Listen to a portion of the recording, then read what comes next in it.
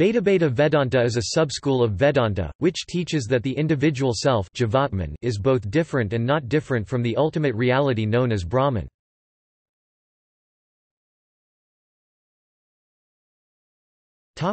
Etymology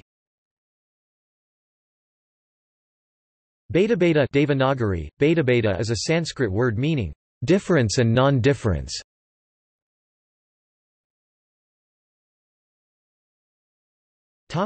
Philosophy The characteristic position of all the different Bhedabheda Vedanta schools is that the individual self is both different and not different from the ultimate reality known as Brahman. Bhedabheda reconciles the positions of two other major schools of Vedanta.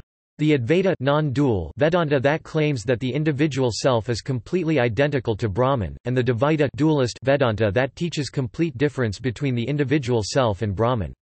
Badarayana's Brahma Sutra c. 4th century CE may also have been written from a Bhedabheda Vedantic viewpoint. Each thinker within the Bhedabheda Vedanta tradition has their own particular understanding of the precise meanings of the philosophical terms difference and non-difference. Bhedabheda Vedantic ideas can trace to some of the very oldest Vedantic texts, including quite possibly Badarayana's Brahma Sutra c. 4th century CE.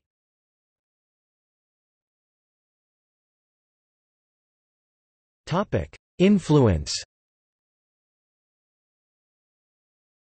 Bhedabheda ideas had an enormous influence on the devotional bhakti schools of India's medieval period.